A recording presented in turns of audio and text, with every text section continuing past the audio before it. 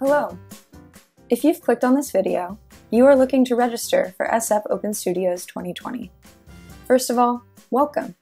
We at Artspan are so happy to have you on board. So go ahead and log in. If you are new to us and have never had an Artspan membership before, you can click here, the For Artists tab at the top of the page. Find the Artist Membership option. Click on that, and it will take you to where you can become a new member. Artspan Artist memberships are $50 a year. If you have had a membership with us in the past and you are now expired, you can go into your Artspan portal and click Renew Membership. Please note that to register for Open Studios, you must be a current member of Artspan. If you are signed into your Artspan account and have a current membership, you should see this red banner and a red button that says Register Now to begin the registration process. If you do not see this red registration banner, it probably means you're not a current member. As stated before, you can renew through your Artspan Artist portal. Once your membership is squared away and you are a current member of Artspan, this red banner should pop up for you. Go ahead and click the Register Now button to start your registration. It will take you to this page. As you can see, there are three kinds of SF Open Studio registrations. To read about the benefits of Premier versus Plus versus Basic registration, check out this link. It will take you to our SFOS 2020 deadlines and registration information page.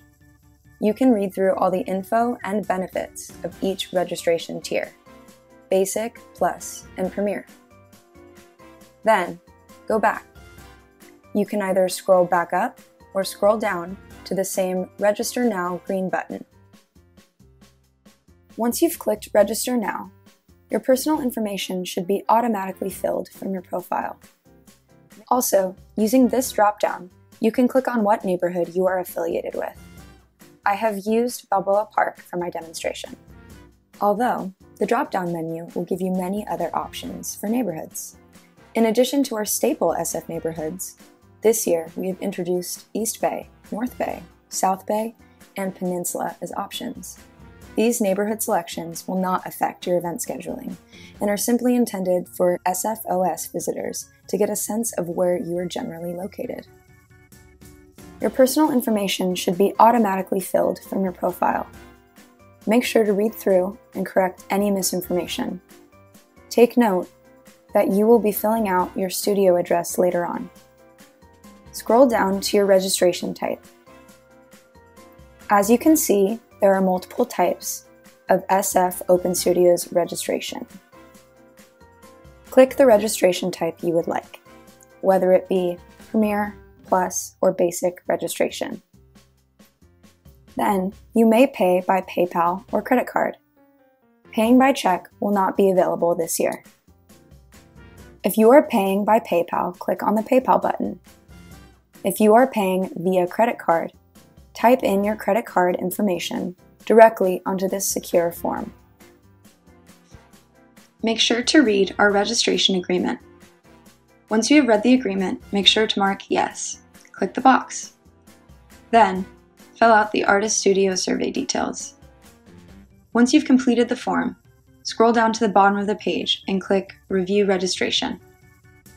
Once you're here, make sure to verify your information again and then click Continue at the bottom of the page.